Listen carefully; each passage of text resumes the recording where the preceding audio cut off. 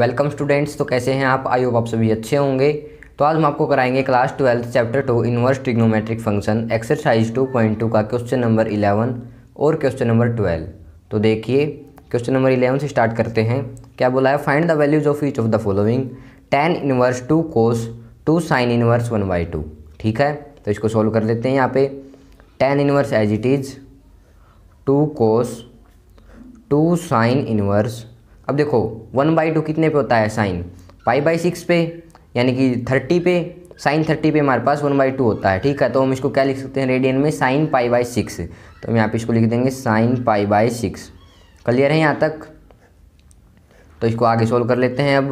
यहाँ से देखो साइन इनवर्स से साइन कैंसल टू से ये थ्री पे कैंसल क्या बच गया? Tan inverse two cos pi by three ठीक है?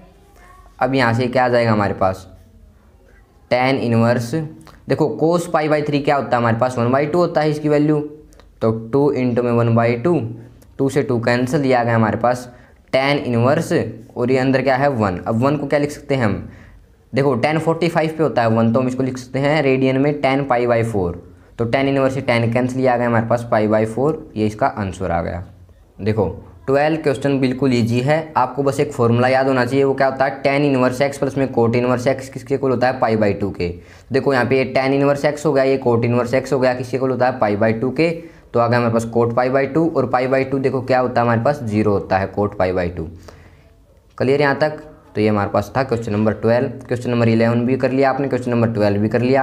अगर आपको अभी भी कोई डाउट हो तो आप कमेंट बॉक्स में ज़रूर बताएँ। अदरवाइज़ हमारे चैनल को सब्सक्राइब करें वीडियो को लाइक करें। Thanks for watching. Have a nice day.